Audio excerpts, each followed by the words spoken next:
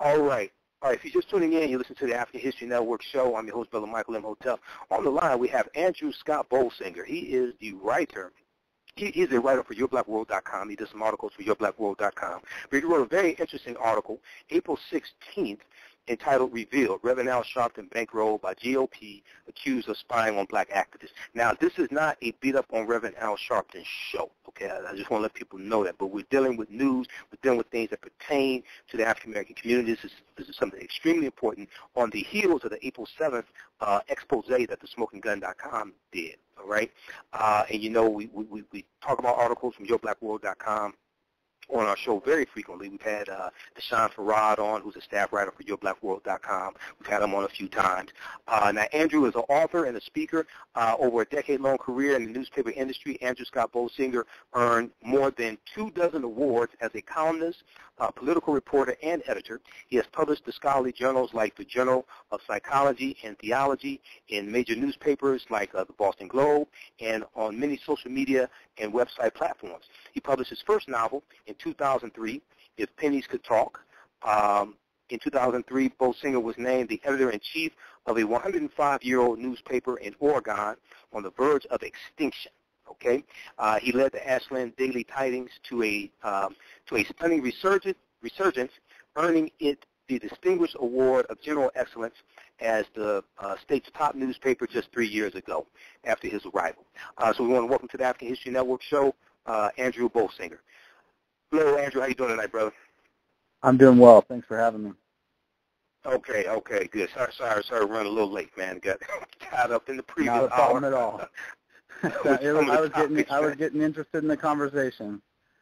Okay, sorry about that. Well, you know, I read the article uh, and and I um uh, I read the article that you wrote April 16th, and uh, I um I saw it actually I saw it um how did I see that? I think I first saw it posted uh, on Dr. Boyce Watkins' Facebook page. And Dr. Boyce Watkins is, is the founder of YourBlackWorld.com and some other sites, Black Blue Dog, things like that.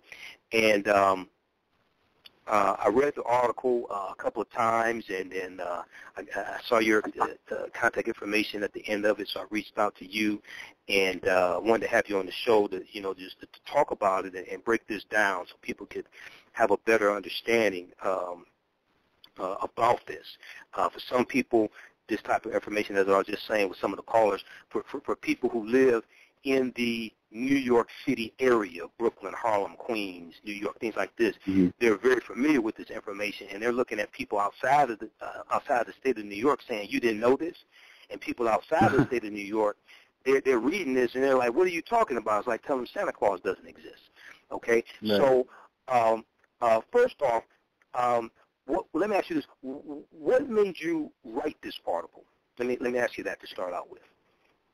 Well, yeah, you know, I, I do. I, I've done various articles on uh, African American civil rights leaders. For uh, this is one of the areas of interest and study that I did. Way, I mean, way back when I was in a, a graduate program that dealt with some of the civil rights issues. So I've always followed a lot of the civil rights leaders. This this story, uh, you know, it got assigned to me, and I jumped on it because of uh, the ties to just civil rights movements. You're talking about, you know, one of the leaders, and and with a movement that important, you know, for the credibility of that movement, the leaders have to have uh, the scrutiny that that that's that's worthy of the of the movement. Okay, and when you say this this art this this story got assigned to you from, from yourblackworld.com, this story got assigned to you. Is that is that what you're Yeah. saying? Yeah, absolutely. Okay. Yep. Okay, okay. And, and and this is coming on the heels of the of the expose that the SmokingGun.com did, um, posted April 7th uh, on on Reverend Al Sharpton, which was extensive, explosive, and supported by the, uh, the declassified FBI documents that they got through the Freedom of Information Act as well. Okay, Right, So- and I think the interesting part is just the the timeliness of it. I mean, a lot of what came out in Mhm. that article had, you know, it had surfaced in the late '80s with some of the articles that that had come up. But I think I think what was most significant about it coming up now was the the testimony of why he's an informant, not so much that he was an informant, and that you know that there was some there was some Mm. criminal pressure put on him. Mm. Now, now, for, for, from uh, what you read and, and your investigation, things like this, why was he an informant? Because uh, the, the reason why he said when he was on uh, Morning Joe and when he was doing damage control, he said that he was uh, testifying against the mafia, uh, trying to because they were what did he say? They were trying to shake down some people or whatever. Uh, something very noble. He said, "I'm." He said, "I'm not a rat. I'm a cat." So yeah. why, why did you why did you find out that that that that he turned uh, secret agent man? Well, you know, again, it comes down to you trust the sources that are being out there. But for instance, the New York Daily News has a fantastic article about some of past associates who, um, you know, one of the first things that, that Sharpton said is that, of course, he was never used as leverage against the black leadership and black community. And yet you have people like Ahmed Obafemi who's saying, "Man, I didn't trust that cat back then. You know, cat or a rat, right. I didn't trust him. He's he's coming into my house and he's talking to me about this and that and the other." And then you had um, you know, others basically talking about, you know, cocaine, cocaine deals that he wanted a piece of, and and the fact that you know the leverage was put on because of potentially, you know, entrapping him in wanting to be involved in illegal activities. And you know, one of the sources right. in, in some of the articles in New York went so far as to say, you know, Al, Al Sharpton had no choice. I mean, he came. You know, Sharpton was was quoted as having talked to talked to one of his associates saying, "Man, they got me. I I, I got to do what I got to do." So, I mean, I think right, that's the right, part exactly. that you know it, it, it takes that high road off. I mean, for anybody that's been into the you know the vices of the criminal justice system, you know, you got hard choices to make, and for him, it, it seems like that hard choice had to do with informing on whoever he was told. And it's not quite the right. noble issue that he wants. If all that's true, and again, that's part of why this story is important and continues to be important, is is how much of all of that is verifiable. Right, exactly. And and uh, Obafemi um, talked about, if I remember correctly in, in, your article, he was the one who talked about uh, thinking back that you know Reverend Al Sharpton had a a suit, a, a, a briefcase uh, right. when he was coming to him, had a briefcase, and he was kind of particular in the way that the briefcase was was sitting and things like this. And then when you read the article from the SmokingGun.com, they talk about how he was given a, a briefcase that had a recording device in it. Uh, I think yeah. it was either by the FBI or NYPD. I can't remember which one. I got the article here, but I can't remember. They actually show you a picture of the briefcase, and they said this is the, uh, the this is this, this is a briefcase that he that he used to yeah. record conversations. Okay. Right, and and, so, and Obafemi saying, "Man, I knew that briefcase was pointed at me the whole time," you know. So that's a yeah. concern. exactly, exactly. And then the other concern is, uh, and I can't remember if you uh, spoke about it in in your article, but the other concern, and I've heard from other people talking about this, especially those that understand how informants work. You just don't inform one time. No. They keep coming back to you over and over and over again when they think you have some information, and they have you to spy on the people who you are around. So a legitimate question is, is he in a retirement program for informants, right. or is he still informing? You know, and, and one of the things that yeah, it is a legitimate question. And then as you were talking about right before I got on, I mean, you're talking about people who, you know, have been asked to become informants you know, within the mm-hmm. black community and, and can politely decline as opposed to mm-hmm. somebody that says inform or, or you're going you're going upstate. Well, that's a different that's a different thing. And and when you're and then when, when is that done? Like, you know, what kind of a I don't I'm you know I'm not too familiar with how informants work, but when do you suddenly say, okay, my debt's been paid, you're going to let me go, and I don't have to work under the thumb of the FBI anymore? I mean, that's a legitimate question. And then of course, you you know part of what my article was about was not just you know Al Sharpton being an informant. It's you know it's a it's a now going on 30 year track record of of very very uh, diverse, let's call it diverse associations with, you know, major players within the Republican Party during his 2004 campaign, uh, lying, aligning with Ed Koch in, uh, in, in his mayor campaign, you know, splintering Al Gore's campaign with Ralph Nader, things of that nature that would be you know, pretty questionable if you're a diehard Democratic supporter, you know, party supporter. Right. And, and when you right. talk about being somebody who speaks the truth to power, well, you lose a lot of that, that, that ability if you're really under the thumb of power. Right, and and that was the other that was the other part that, that grabbed my attention with this article. Um, Al Sharpton bankrolled by GOP Grand Old Party. Uh, talk yeah. talk about that a little bit here. I'm, I'm looking through the article, trying to find those different points, but but, but talk about that. What was the ex, uh, the extent to which, and you're referring to this 2004 presidential campaign, correct? That, yeah. Yeah. Well, what that that you know, there's an excellent piece in the Village Voice that came out in 2004. It's it's it's what it's what makes Alternative Weekly so powerful is they can do long form journalism and really lay it out mm-hmm. there, and, and they build a record. And this was one where we were talking about the guy who the you know who was who was tapped by the Bush Association in two, in 2000 to basically go into Florida and work to cut off the voting you know of of the vote to to ensure the Bush election. And you're talking about these are these are black votes in black counties, and you have a Republican right.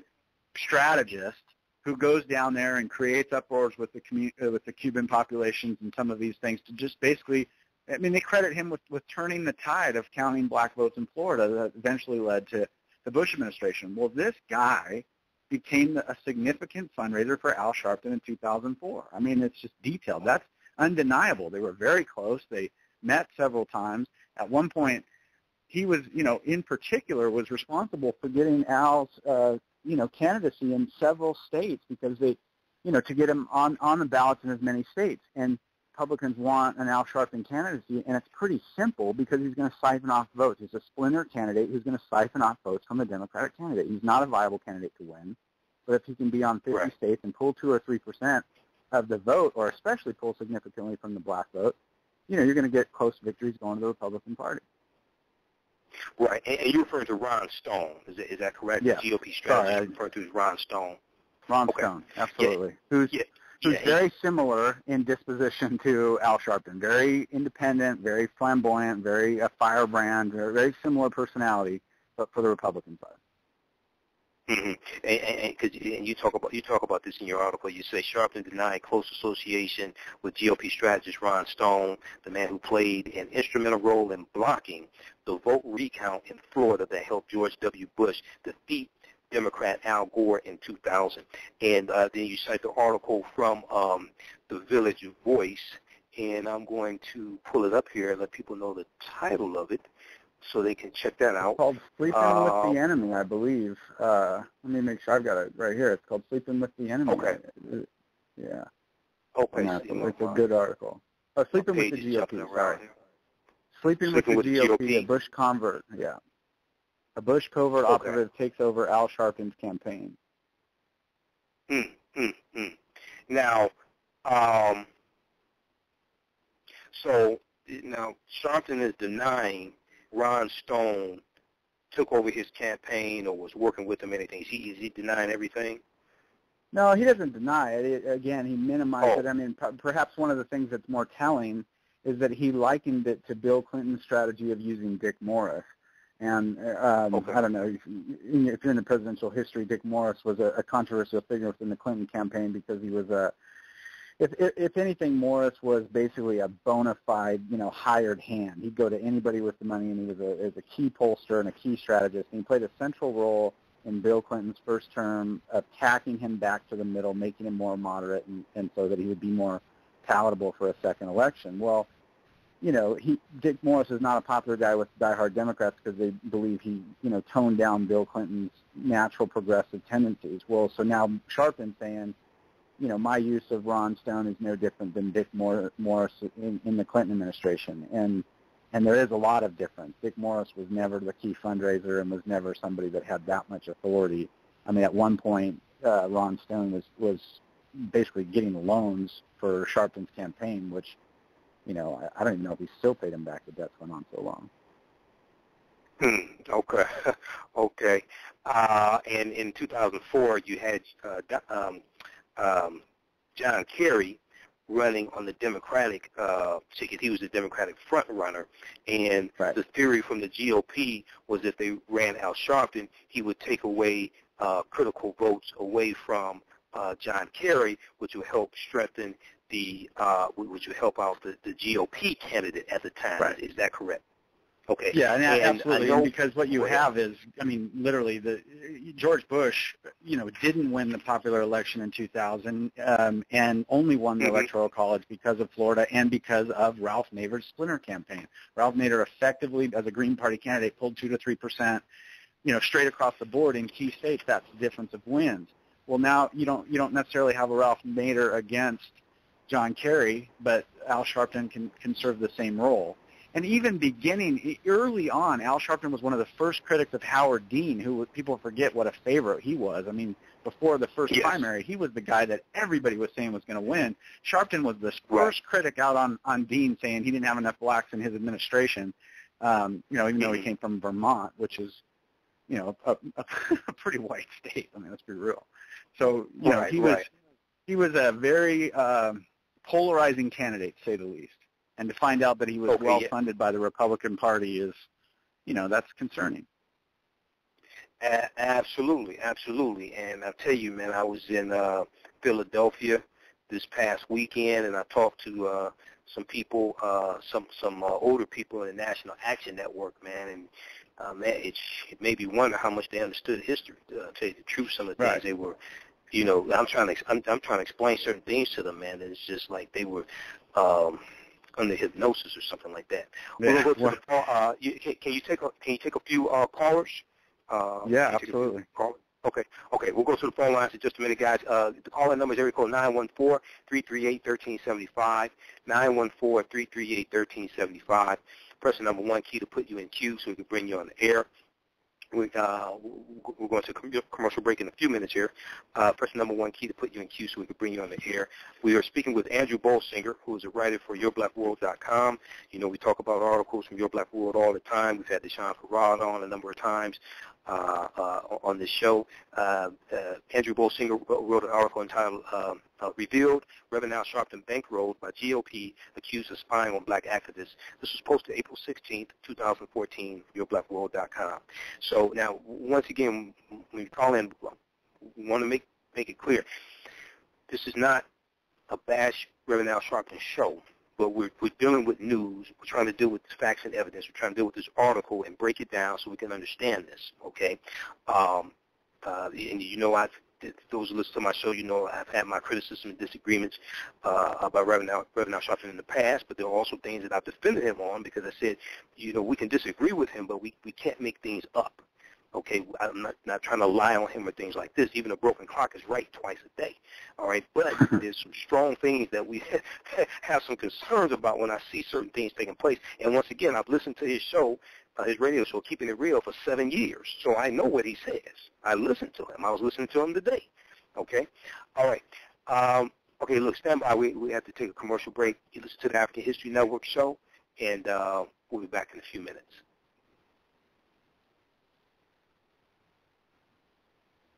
Guess what time it is?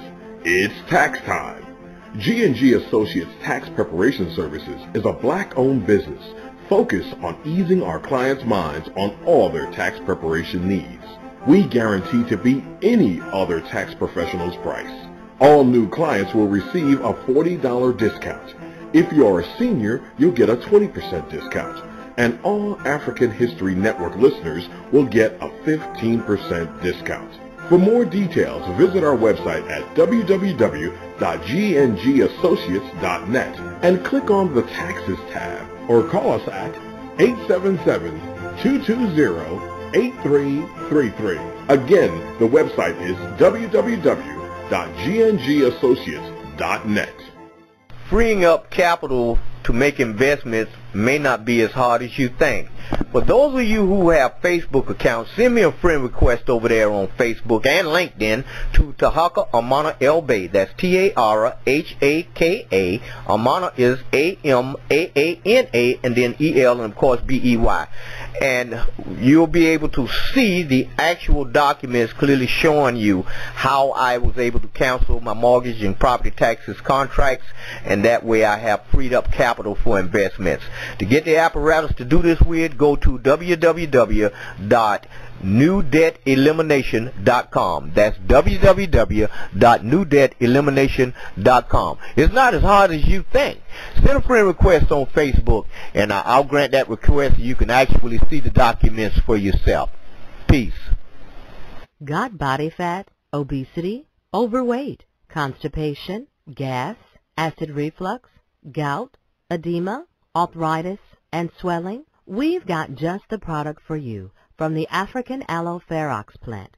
African Aloe Ferox bitter crystals, drink and tea will help to regulate, cleanse, and detoxify your body, making you much more healthier and vibrant by balancing out your entire digestive tract. Try Aloe Ferox by Alki Naturals. You can visit our website for more details and testimonials at www.alkinaturals.com. Also, for all African History Network listeners, you can get a 25% discount by using coupon code AHN25OFF. Again, that website is www.alkinaturals.com. Remember, God may forgive you, but your body won't. Maud Hotep African History Network family. This is Michael Imhotep, host of the African History Network show and co-host of the Per Ankh Hour Questions and Answers show with Professor Kaba Hiawatha Kamene, also known as Booker T. Coleman. I want to let you know that my new lecture, Understanding the Transatlantic Slave Trade, what they didn't teach you in school, is now available at theafricanhistorynetwork.com. It's item number 712. When we discuss the transatlantic slave trade, we have to first understand that African people are the indigenous people of North, Central, and South America and have been in the U.S. at least 51,700 years. We can't start studying our history in slavery. When we look at the transatlantic slave trade, we cannot look at it episodically. We have to understand the sequence of historical events. We have to understand the Moors going into the Iberian Peninsula also known as Spain and Portugal, in 711 AD, and taking teachings from ancient Kemet, also known as Egypt, to Europeans in Europe. We have to understand how this influenced Christopher Columbus and his four voyages and the technology that he was using to set sail with. We have to understand how Christopher Columbus laid the foundation for slavery, racism, capitalism, the exploitation of indigenous people, and how this opens up the new world to exploitation by other European nations, Portugal and France and Germany and Belgium, etc. Once we understand this, then we can look at the transatlantic slave trade. We can't start in 1619, we can't start in 1555, we can't start in 1526 with Spain bringing Africans into the territory today known as South Carolina. Some of the things that we deal with in this presentation also include how European white supremacy is like the Wizard of Oz, the intellectual capital that was taken out of Africa during the slave trade, some of the skills, trades, and crafts that African people had in the U.S. up until 1865 that built this country, and much, much more. This is a four and a half hour presentation it is the culmination of at least four years of research that I've been doing on various subjects, including the transatlantic slave trade. Once again, understanding the transatlantic slave trade, what they didn't teach you in school, is item number 712 at theafricanhistorynetwork.com. Order your copy today, and for more information, you can also call us at 313-462-0003 313-462-0003 and you can also email us at theahnshow at gmail.com theahnshow at gmail.com Maud Hotep and hope to hear from you soon. All right, welcome back to the African History Network show. Uh, once again, if you have a question or comment, give us a call on 914-338-1375, 914 338-1375. We have Andrew for a few more minutes. We're speaking with Andrew Bolsinger, who uh, is a uh, writer for YourBlackWorld.com. He's written, he's written uh, various articles for Your Black World, uh, but the article we're, we're speaking of tonight uh, was posted April 16th on YourBlackWorld.com. It's entitled Revealed, Reverend Al Sharpton bankrolled by GOP accused of spying on black activists. Okay, so very, very interesting article. Uh, it has supporting um, uh, references and articles uh, to, to, back up what, he, what he's talking about. Uh, let's bring Andrew back on. Okay, Andrew, you still there? Absolutely. Okay, okay, good, good, good. Um, screen's freezing up a little bit on me. Okay, we'll just hold No you for a few more minutes here. Uh, very interesting article. And uh, now, uh, I, I know there was one article from the Village Voice. Uh, I, I saw that. What were some of the other sources uh, that you utilized to, to, to, to, back up this article, to put this together?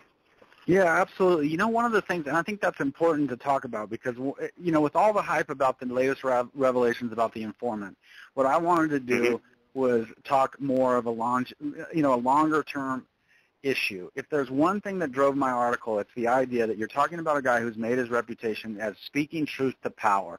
To do that, Mhm. you have to be out from under the thumb of power. And one of the things that I found in, in, in doing this article, and there's there's really more that have come since I've written the article, is that from the very beginning of, of, of Reverend Sharpton's organizations, he has had legal and financial troubles that have put him in vulnerable positions. So for instance, one thing that's not even in my article, but is a guy that I'm right now talking to is by the name of Donald Thomas, who was the co-founder of Reverend Sharpton's first movement. This is back in 1973. It's the National Youth Movement. Um, you know, they've, uh, Donald Thomas isn't even recognized as, as having played a significant role. Everybody that they ever talk about that organization says Reverend Sharpton founded this by himself when he was at the age of 16. Well, Donald Thomas shows, at, you know, has sources that he's given me and he has out on the website that show that he's under oath, he's been subpoenaed. He was a founder of that and, and, and talked about how, um, you know, at night, in the 1990 trial, people forget, you can't even find it, Reverend Sharpton was brought in for a tax and fraud trial because of Mhm. misrepresenting that organization that's now defunct. And here's the co-founder of it who has significant documents who are saying, yeah, they were over, you know, he was talking about having, you know, 40 some odd organization or, or 40 different, um, we call them branches, and he said we didn't have that. On enrollment, we didn't have that. Tax documents that weren't there, you know, basically committing fraud. And at the time, Sharpton dismissed Mhm. him as a crackpot who wanted a free trip to New York. I mean, it just doesn't it doesn't have any validity. This goes back to 1973. So you're talking about 1973 leading to a 1990 trial for significant financial problems and fraud. You're talking about the 1980s. Um, you've got a guy named Bob Carrington who's saying he, Sharpton told him directly that he was involved in a bad cocaine bust that put him under the, the thumb of the FBI as an informant. You've got a black Right. nationalist who's saying in, in, the, in that same time frame that he was being targeted, which is the one thing Sharpton said he was not turned on the black community, and he's saying he was absolutely targeted. And then and you've got him all the way in 2004 being bankrolled by the, the GOP, and now in two, starting in 2008, you know, he's an outspoken supporter of President Obama. So so where's the truth to power? That's the question. Right, right. right, exactly, exactly. And also, Where's the truth or the um, power? I mean, Right, exactly. and and uh, I think it was uh, a couple of weeks ago, actually, when the story broke, I, um, uh, well, when the story from SmokingGun.com broke, um, I shared briefly a article written by um, attorney Alton Maddox on his website, uh, reinstate Alton Maddox, and it was entitled uh, "Is Reverend Al Is Reverend Al a Rat?" and Mhm. Alton Maddox was, was talking about the 67 count indictment indictment that um, uh, Reverend Al Sharpton was dealing with in 1990, and it was Alton Maddox that got all 67 counts uh, dismissed. Okay, right. Exactly. so uh, it is very. I think people should really read that article, uh, and so it's a very very interesting article uh, on um, reinstate uh, Alton Mad- Alton Maddox uh. Uh, now you said there were some new developments that come, that have come out since this since this article you did April 16th. Yeah, I didn't have any mention of Donald Thomas. He contacted me after this article, and um, Hmm. and so uh, you know I'm just starting to talk to him. But for instance, if you go, he has his personal website, which has really uh, it's all. He's an interesting guy, health and fitness freak. He's got Guinness, uh, Guinness Books of World Records for human endurance and all these different things. But he has a page dedicated to Al Sharpton and his involvement with Al Sharpton, and he says that basically the rationale is um, you know, he was slandered by Sharpton. He was a co-founder of the National Youth Movement, and um, he was the only one that testified under oath to that effect. And that at the very first question that Sharpton's lawyers asked him is, "Are you aware? Do you know what perjury is?" And then right from his website, he says, "At no time over my almost four hours of testimony was I charged with perjury." And he has document after document that shows, you know, that he was at that point making serious accusations and serious testimony under oath to uh, the formation of the first movement, the first nonprofit organization that, that Al Sharpton ever started, which was the National Youth Movement. And Hmm. Sharpton dismissed him with a quote that said he knows nothing about the National Youth Movement because he was nothing, a complete crackpot. That's a quote from Sharpton, and yet if you look back, I mean, there's one document that I'm staring at now, which is a National Youth Movement brochure, and on the top it, says Reverend Al Sharpton Jr., founder and chairman, Donald Thomas, vice chairman. Well, this, this is a guy he says knows nothing about the movement. So, I mean, there's some serious, you know, there's some serious questions about the integrity uh, of a man who's made his living on on you know speaking truth to power, and also you know you guys mentioned you know his wealth. Um, you know Mhm. certainly there's no problem with anybody prospering, but but you know Right. he is the one percent. I mean, yeah, he makes two hundred fifty thousand a year through his nas- nonprofit organization, but he's also he's in the same Right. slot that Keith Olbermann made four million dollars a year on on MSNBC, and yet he's got se- serious tax problems that have followed him around for for a long period of time. I mean, debt and tax problems, and I think his organization. I think it's gotten paid down now, but I mean, one of the questions is, I mean, that you brought up was, what about all these people? You you mentioned somebody saying, you know, hey, your tax problem goes away if you'll become an informant. Well, the guy's already an informant. What more does he have to offer? Well, well, the, the, the question is, is if he's still informing, who is he informing on now? Who is Right. around him? Things like that. That's, Exactly. that's the question. Exactly. That's the That's question exactly that a lot right. of, lot, lot of people are wondering about.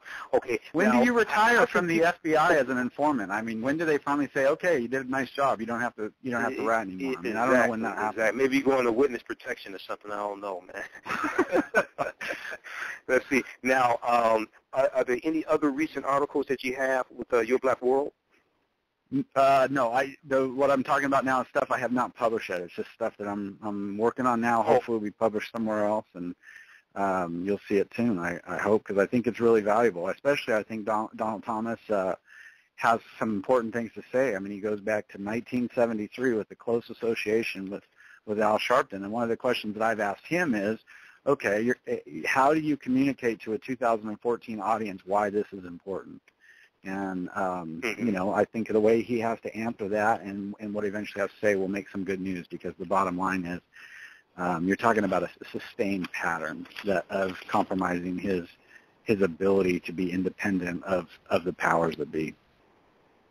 Okay. Um, and how can people get in contact with you? And I know you operate your website, uh, criminalu.co as well. So, so uh, you Yep. can tell us about that as well if you'd like to. Yeah, that's a prison reform-based uh, website. Um, I, lo- I love the fact that you introduced me with all the good stuff that's happened to me, but, you know we're talking about truth. Let's be honest. I've had some bad stuff too, including um, Absolutely. you know, alcoholism. I was gonna let you talk I- about that.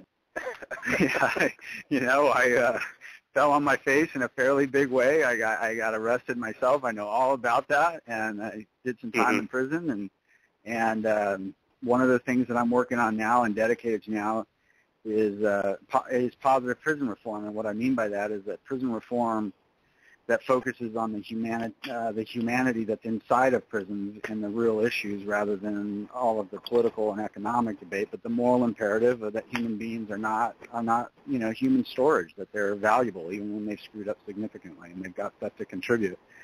So, um, Criminal U is just a it's just a place where we, you know, one of the first things I learned when I went to prison was they said basically, you know, prison isn't going to teach you anything about how to stop what you're doing. They're going to teach you how to do, you know, crime better.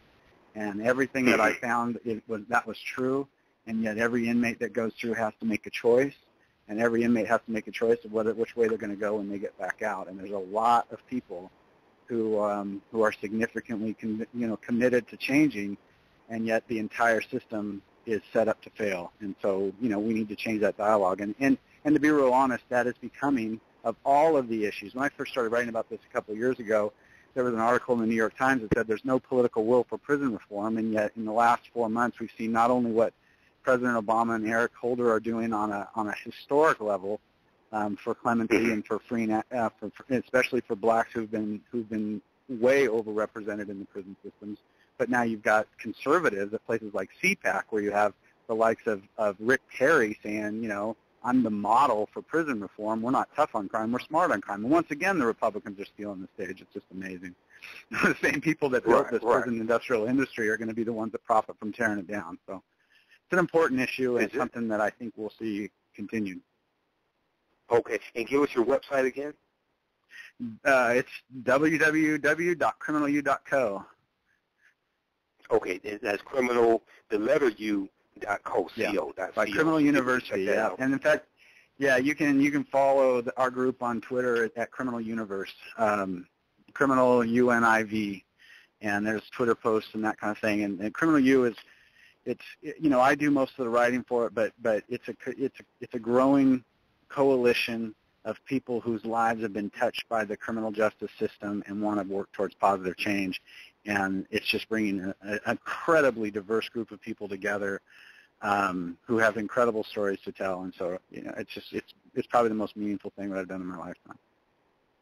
Wow, wow. Okay, that's great. And you know, I worked with uh, I worked with returning citizens. Uh, I, I live in Detroit, and uh, I was uh, I helped to manage a uh, uh, construction trades program uh, through a company that I was managing, and uh, we worked with a, a local community college here, uh, and we taught construction construction trades uh, through the community college. So we, we dealt with underserved populations.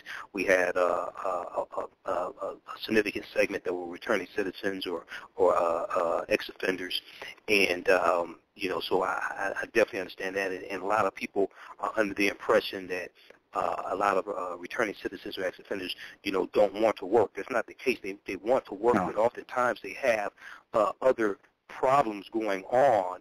They may have they may they may have some type of uh, learning disability. They they they may Yeah. be illiterate in some you know to some degree. Things like this.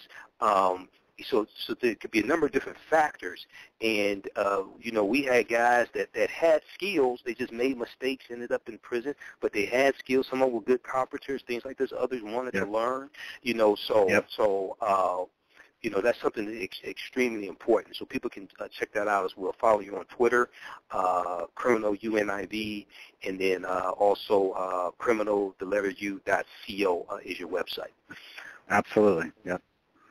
Okay And you know, to great. that Uh, end, one of the things that go, go ahead go ahead. Oh, uh, last last thing, but one of the things we're talking about when you were talking about the challenges that are there, uh, a significant part of, of some of the work that I'm doing is working with inclusive uh, communities, in- inclusive organizations that are trying to empower people of color in the tech and entrepreneurial uh, 21st century economies.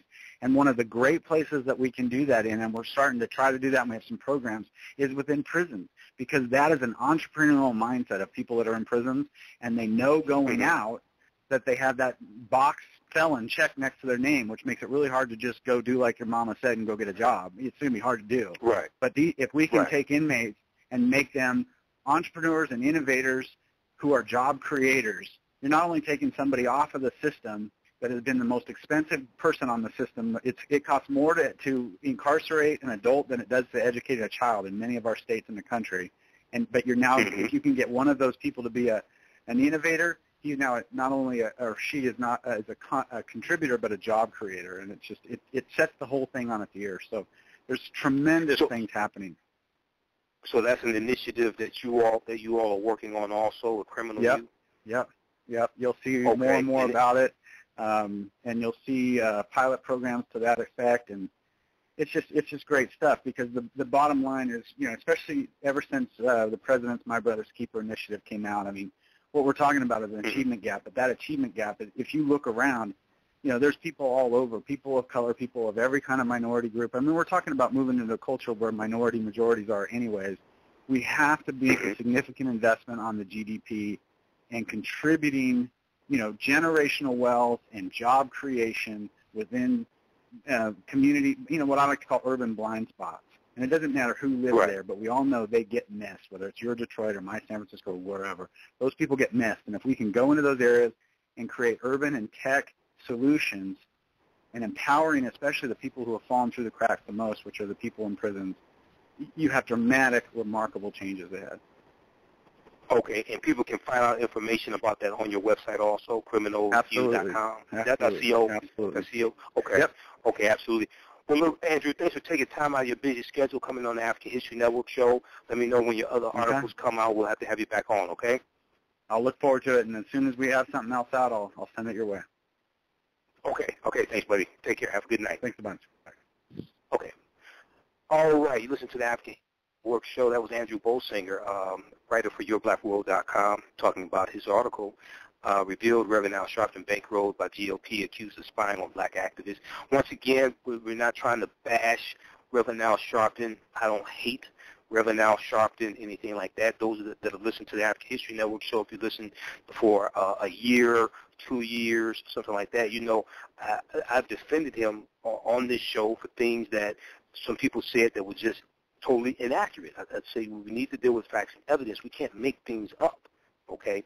Um, but when you, you're dealing with evidence that like came out in the article, uh, the, the expose that the smokinggun.com uh, dot com did, when I'm doing research and I'm talking to people in the uh, uh, uh, Brooklyn and Harlem area, things like this about some historical things, uh, when we're dealing with articles like this, then you know you, you- you're dealing with the evidence. And, and Reverend Al Sharpton admitted working with the FBI and the, and the New York Police Department as well. Okay, and he did not say that the FBI documents that the SmokingGun.com had, he did not say that those documents were false or were forgeries, anything like that. What he said was he and his attorneys were going to go over the documents to determine uh, their veracity. Okay, which means that he knows that there are some actual documents out there. Okay, so uh, all right, you listen to the African History Network show. We'll be back in a few minutes. If you have a question or comment, give us a call, 914-338-1375, 914-338-1375. In our third hour, we're going to be joined by Abayomi Azikiwe, editor of the Pan-African Newswire. We're going to talk about the attack on affirmative action uh, that was just handed down, the decision from the uh, U.S. Supreme Court that just came down Tuesday. Michigan's uh, ban on affirmative action upheld by Supreme Court. Uh, and this is an article from CNN.com. Michigan's ban on uh, affirmative action upheld by Supreme Court that you can check out. Uh, we'll talk about that and some other uh, um, decisions from the Supreme Court that are, are really uh, making that are really going to make things very hard, very difficult for African Americans in this country. And this is why we, have to focus uh, more on self-reliance, uh, economic empowerment, supporting our own businesses, circulating our dollar. Uh, uh, it should be 8 to 12 times, but since it only goes one time, we need to go from spending 2% of our dollars with our own people to 10%. Okay, we did start there. We can we can go from 2% to 10%. In one to two years, we can create one to two million jobs. All right, and uh, about 64% of African American owned businesses uh, oh, sorry, about 64% of the employees at African American owned businesses are other African Americans also. Okay, so um, this is very, very uh, significant. I will be in the Louisville, Kentucky area. Uh, I'll be, well, not the area, I'll be in Louisville, Kentucky. Uh, this Sunday, April 27th, I'm doing a presentation 4 p.m. to 9 p.m. Uh, more Education and Enrichment Training, also known as MEET, and the African Village and Cultural Center of Louisville, Kentucky, are bringing me in to do a presentation. I'm doing an overview of my presentation, Understanding the Transatlantic Slave Trade, what they didn't teach you in school, and also I'm doing a uh, short presentation, uh, When Black Men Dominated Horse Racing. This is a presentation and discussion with myself, Michael Imhotep, host of the African History Network show. Uh, this will be at 3415 Bardstown Road, Suite 405, Louisville, Kentucky, B-A-R-D-S-T-O-W-N. It's on our website, AfricanHistoryNetwork.com. It's in the email newsletter I sent out today. Um, to sign up for our email newsletter, just text the word KEMET, K-E-M-E-T, to 22828. Text the word KEMET, K-E-M-E-T, to 22828. Uh, or you can go to our website and it's there also. You can sign up there as well. Donation is $10, free food and refreshments. Uh, for more information, call 502-459-6111. 502-459-6111 or email more education and enrichment at gmail.com. That's M-O-R-E, education and enrichment at gmail.com. So it's going to be a fantastic uh, presentation. Definitely look forward to seeing my Louisville, Kentucky family and the brothers and sisters of the African Village in uh, Louisville, Kentucky. So definitely come on out. Okay, we'll be back in a few minutes. You're listening to the African History Network show. Guess what time it is? It's tax time. G&G Associates Tax Preparation Services is a black-owned business focused on easing our clients' minds on all their tax preparation needs. We guarantee to beat any other tax professional's price. All new clients will receive a $40 discount. If you're a senior, you'll get a 20% discount. And all African History Network listeners will get a 15% discount. For more details, visit our website at www.gngassociates.net and click on the Taxes tab or call us at 877-220-8333. Again, the website is www.gngassociates.net. Okay, everybody, we've just launched our new website. It's www.newdebtelimination.com. That's newdebtelimination.com. You can click on the navigational links up top. Uh, there's the uh, home link, the services link, uh, the donation uh, page link is there as well. Uh, when you get ready to uh, own your own business, uh, for those of you who own your own business or want to own your own business, uh, there's a link available up top for that. Also, all of the previous audios that we've done on our wealth building classes. So click on the wealth building class link uh, for all your previous audio. You can go in anytime you get ready. And as we go along, we'll add our new audio plugs under that title the wealth building class link. Okay, www newdebtelimination.com. Hello, everyone. This is Michael Imhotep, host of the African History Network show and founder of the African History Network. As many of you know, we've been doing the African History Network show on Blog Talk Radio for four years now. It'll be four years March 10th. We have thousands of listeners across the country. We have about uh, over 100,000 followers on our Facebook fan page, the African History Network and we focus on educating, empowering, and inspiring people of African descent throughout the diaspora and around the world. We've interviewed a lot of our top scholars on African history and African culture, things of this nature, and people have been learning a lot. Uh, I've been given the opportunity to also host a show on the Empowerment Radio Network.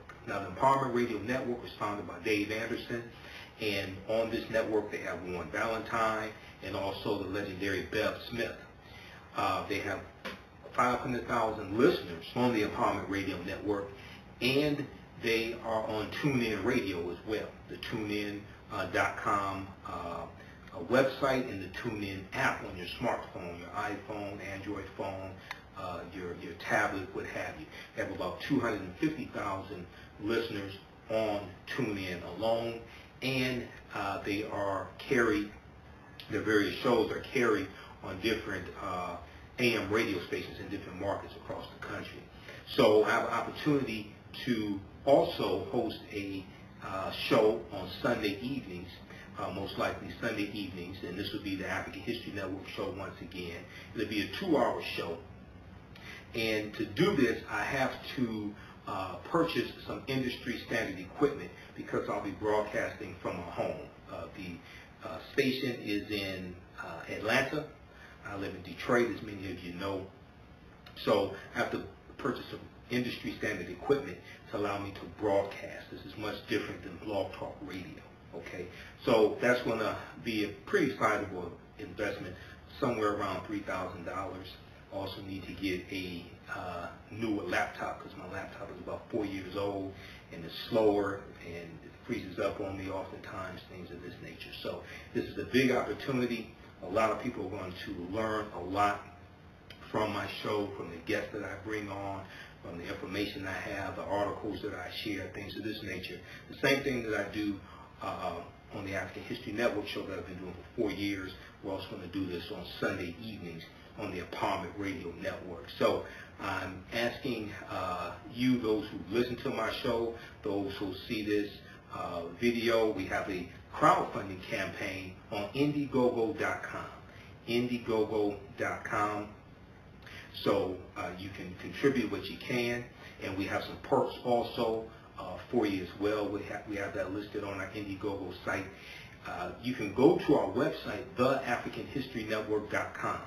Theafricanhistorynetwork.com. We have the information there and the link to our Indiegogo site. Uh, or you can just go to Indiegogo.com and search for The African History Network. The African History Network, we have the information there also. Uh, secondly, uh, the other reason why uh, I'm trying to raise funds as well is because um, I want to also have a 24-hour internet radio station. Many of you are familiar with uh, the internet uh, radio station that Dr. Ray Hagins has. Uh, but I want to have something like that. I've been talking about it for some time, but just now really getting around to really being able to do something like that. So we also want to raise funds, secondly, for the 24-hour internet radio network uh, that I'm going to have where I can play uh, my lectures 24 hours a day, play some lectures from other scholars, play excerpts, some interviews I've done, because I've done uh, hundreds of interviews uh, over the past four years.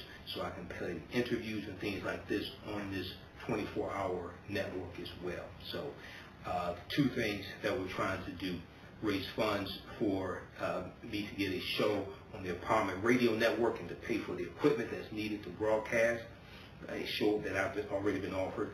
And number two, to raise funds to create a 24-hour uh, internet radio network, which would be the African History Network.